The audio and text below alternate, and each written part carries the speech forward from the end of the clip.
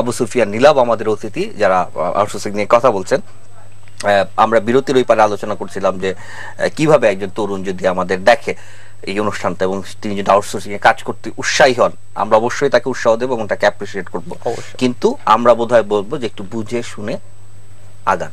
কি বলেন উনি? আহ, বুঝে শুনে আগানোর ব্যাপারে বাংলায় একটা মানে প্রবাদ আছে যে এরকম যে ধর তক্তা মার পেরেক। যে আমি আউটসোর্সিং শুরু করব, চিন্তা করলাম, শুরু করে দিলাম। এটা এভাবে আসলে আউটসোর্সিং শুরু হবে না। নীলাভ খুব সুন্দরভাবে একটা বিষয় ব্যাখ্যা করছিল যে আমরা হয়তো বা বিশ বছর লেখাপড়া করার পরে আমরা একটা চাকরি সিবি ড্রাফট করতে পারি। সো আমাদের এখানে যে আউটসোর্সিং যে একটা বিশাল শিল্প আমরা বলতেছি, যে এখানে প্রোগ্রামিং ল্যাঙ্গুয়েজ বলেন বা গ্রাফিক্স ডিজাইনিং বলেন, যে আদার্স যে কাজগুলো আছে, প্রত্যেকটি কাজ আপনার স্কিল নির্ভর।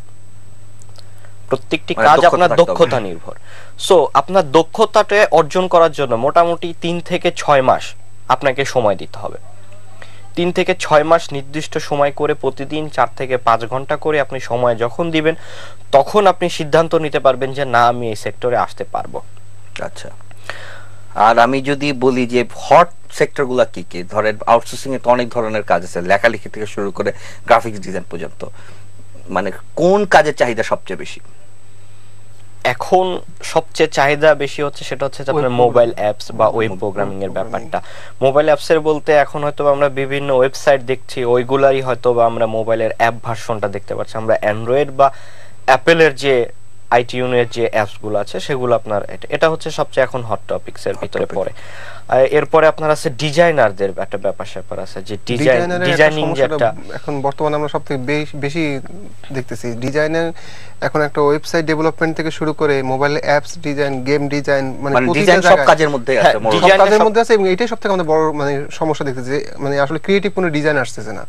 মানে ডিজাইনের মূল ব্যাপারটা হচ্ছে আপনার ক্রিয়েটিভিটি যেমন যে নীল খেতে থাকে সেও কিন্তু আপনার সুন্দর কাজ করতে পারে আউটসোর্সিং এর যে ডিজাইনার ডিজাইনার যে আছে যে আউটসোর্সিং করে তার থেকে সে সুন্দর হয়তোবা টুলস এর কাজগুলো জানে। কিন্তু যে ডিজাইনার তার ক্রিয়েটিভিটিটা এখানে সে প্রকাশ করে। ক্রিয়েটিভিটিটা এটাই আসলে আর কি ডিজাইনিং এর মূল ফ্যাক্টরটা এর পরবর্তীতে যেটা আসতে পারে যে ওয়েব কন্টেন্টের যে ব্যাপারটা আসতে পারে, সেটা আসতে পারে। দেন তারপরে প্রোগ্রামিং এর ব্যাপারটা আছে, কারণ প্রোগ্রামিং প্রোগ্রামিং ছাড়া আসলে আইটি জগৎকে কল্পনা করা যায় না প্রোগ্রামিং ছাড়া।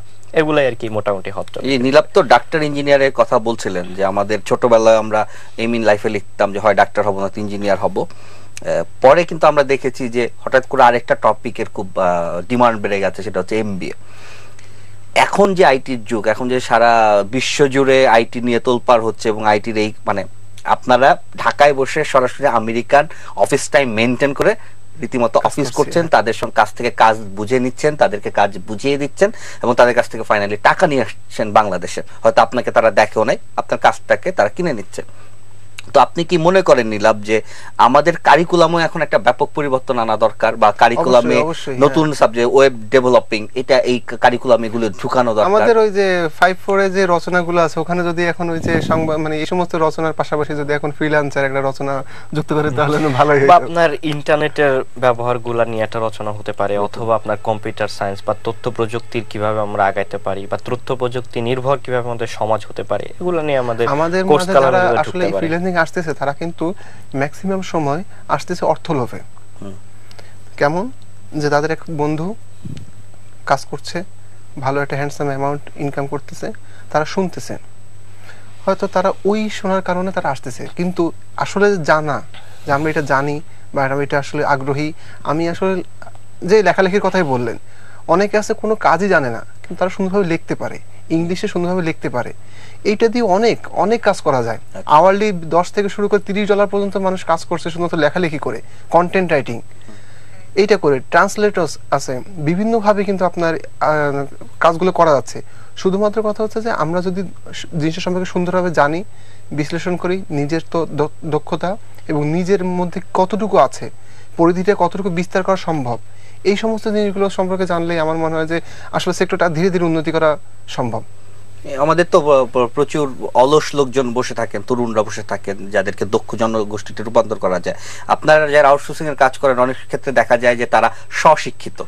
মানে আপনারা ওই সেই গুগল মামার কাছ থেকে কাজটা শিখেছেন শিখে তারপর নিজের অ্যাপ্লাই করছেন। কিন্তু ওলি আপনার কি মনে হয় না যে আপনারা যদি আরও প্রপার দক্ষ শিক্ষা পেতেন বা ট্রেনিং পেতেন তাহলে আপনারা আরও ভালো করতে পারতেন?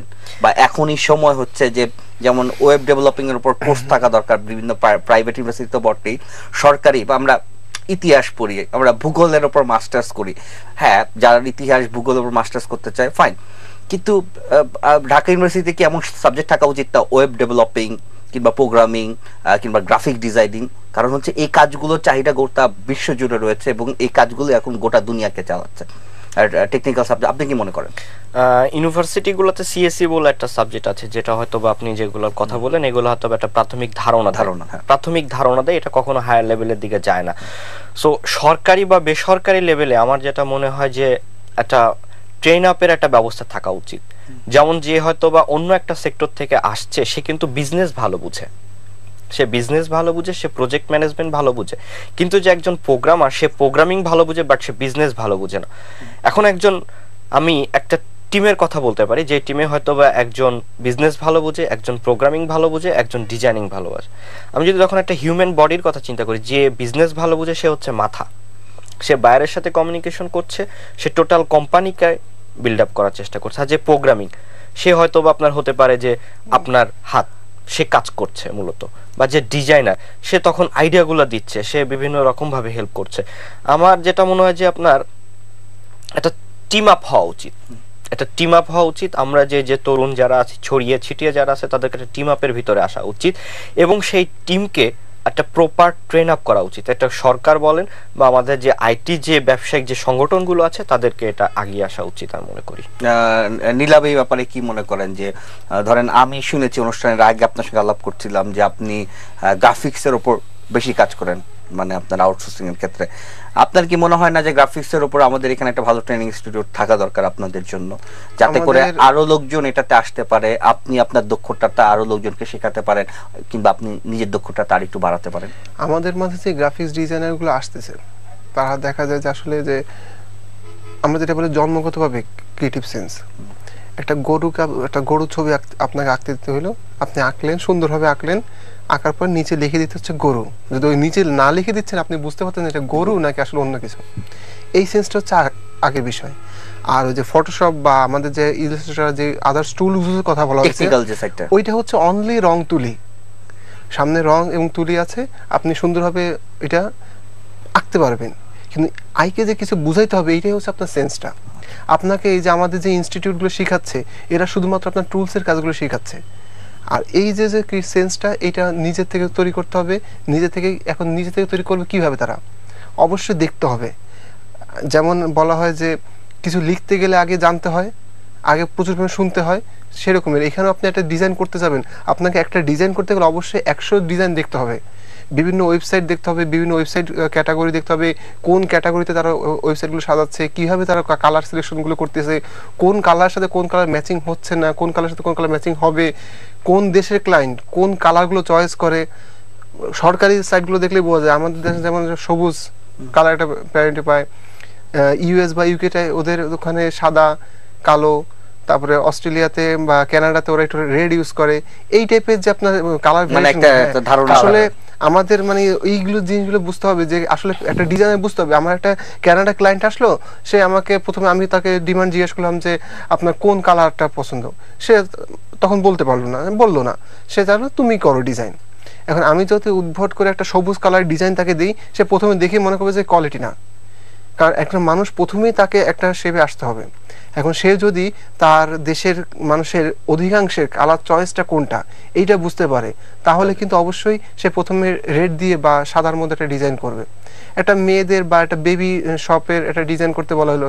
এখন সে যদি সেখানে সাদা বা কালো করে সেখানে কিন্তু আবার সেখানে হবে না। মানে তার বেসিক সেন্সগুলো থাকতে যেগুলো মানে হ্যাঁ। দুইটা পার্ট আছে যেগুলো ক্রিয়েটিভ কাজ। হ্যাঁ, হ্যাঁ। একটা দা ক্রিয়েটিভ সাইড একটা টেকনিক্যাল সাইড অসংখ্য ধন্যবাদ। আমাদের হাতে আর সময় নেই। অলি এবং নীলাপকে আমাদের মাঝে উপস্থিত হওয়ার জন্য। এবং আমাদেরকে যদিও আপনাদের রাত জাগেন আপনাদের নতুন কিছু না, তারপর অসংখ্য ধন্যবাদ। আবার দেখা হবে। প্রিয় দর্শক, আমরা এই দুই তরুণের সঙ্গে কথা বলছিলাম এবং আমরা লক্ষ্য করবেন ইয়াং নাইটে প্রায় আউটসোর্সিং নিয়ে কথা বলি। আউটসোর্সিং নিয়ে কথা বলার পেছনে আমাদের উদ্দেশ্য থাকে দুটো। একটা হচ্ছে আমাদের যারা তরুণ দর্শক, তাদের এই ব্যাপারটায় আগ্রহ আছেন।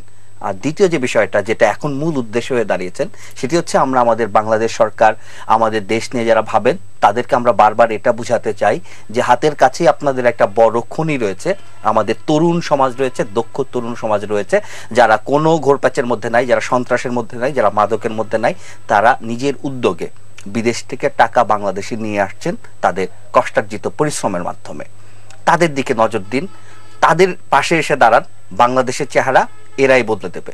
প্রিয় দর্শক সবাই ভালো থাকুন সুস্থ থাকুন। শুভরাত্রি।